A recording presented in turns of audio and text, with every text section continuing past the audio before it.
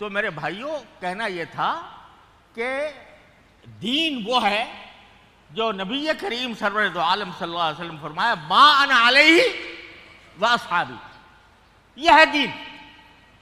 इस दीन के खिलाफ जमाने की तब्दीलियों से मुख्तलिफ़ अफकार, मुख्तलिफ़ नज़रियात, मुख्तलिफ़ फ़िरके पैदा होते रहे।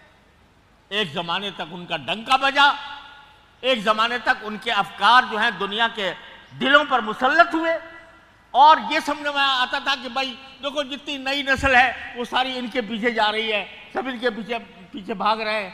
और इस वास्ते जो हक हैं, या जो मुतकदमीन के नाम लेवा हैं, जो सलफ सालहीन के पैरावेकार हैं, उनको कुछ अपने अंदर तब्दीली पैदा करनी चाहिए।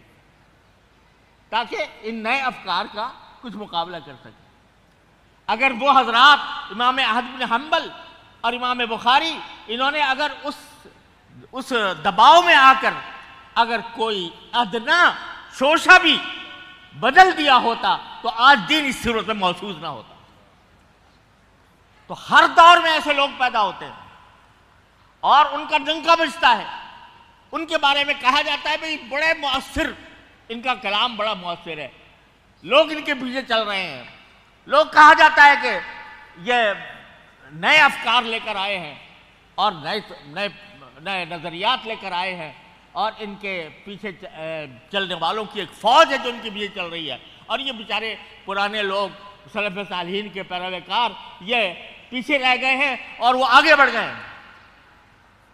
मेरे भाइयों, वो जितने आगे बढ़ने वाले हैं वो भी इसी तरह तारीख का हिस्सा बनने वाले हैं, जैसे मोहतज और जामिया बने थे। लिहाजा कभी इस बात से मरूब ना होना कि फला नज़रिया जो है, उसका बड़ा, जो बड़ा चर्चा है, फला नज़रिया बड़ा फैल रहा है। नौजवान नस्ल उसकी तरफ़ जा रही है, उसके बातों के अंदर बड़ी तासीर है। इस बात से कभी मरूब ना होना। ये सारे नज़रियात, सारे अफकार जो मान अलही वसाबी के खिलाफ है सब मिटने वाले हैं। एक दिन वो भी तारीख का हिस्सा बनेंगे, जिस तरह मोतजिल और जहामिया बन गए। तो इस वास्ते मैं इस किताब तोहीद को मैं एक सबक के तौर पर पढ़ता हूँ। सबक के तौर पर पढ़ता हूँ कि देखो ये सारे थे कहाँ गए? आज भी हमारे सामने कैसे नजरियात हैं? कैसे अफकार हैं? कैसे लोग आ रहे हैं? नई नई बातें कर। भाई, इसमें बड़ी जिद्दत है, इसके इसके बयान में बड़ी जिद्दत है, इसके बयान में बड़ी तासीर है, इसकी तहरीर में बड़ा, बड़ी जान है। ये लोग जो हैं, वो उसके पीछे चल रहे हैं। डंका बजा हुआ है। किन के पास? नौ तालीम याफ्ता। नौ तालीम याफ्ता कौम जो है, वो इनके पीछे चल रही है। तो मेरे भाइयों, जाने दो उनके पीछे। हम तो उसी पर रहेंगे जो माँ नाले वसाबी का पैगाम है। ये सब मिट जाएँगे, सब फना हो जाएँगे और तारीख का हिस्सा बनेंगे। आपने, मैं तो मोतला जहामिया की बात कर रहा हूँ। पाकिस्तान हमारे बर्र सगीर के अंदर देखो, तारीख पर नज़र डालो। तो एक ज़माने में मशरकी साहब चल रहे हैं। उनका डंका बजा हुआ है। उनकी तहरीरें पढ़ी जा रही हैं। उनके नज़रियात अपनाए जा रहे हैं। जी, आज कोई जानता है मशरक साहब को? उनकी तहरीर कोई पढ़ता है? नहीं? तो गुलाम अहमद परवेज साहब थे। एक जमाने में कहा जाता था कि भाई, उलमा के पास इनका तोड़ नहीं है।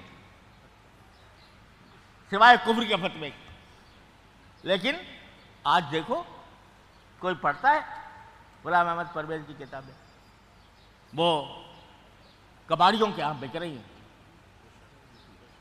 तो मेरे भाइयों, अपने आप को मान अलही वसाबी का पैगाम उठा, पैगाम देने वाला बनो और किसी भी इधर उधर की तहरीकों से इधर उधर के नजरियात से यह ना समझना कि इस्लाम में आज तरमीम की ज़रूरत पेश आ गई है। इस्लाम के हमें अपने सलफ़ सालहीन के तरीके से बदलने की ज़रूरत पेश आ गई है। कभी दिमाग में ये ख्याल ना लाना। इन, इनका ये जो पढ़ाई जाती है ना, लोग कहते हैं, भाई मतदला को पढ़, अब क्या पढ़ें? और जहामिया को क्या पढ़ें?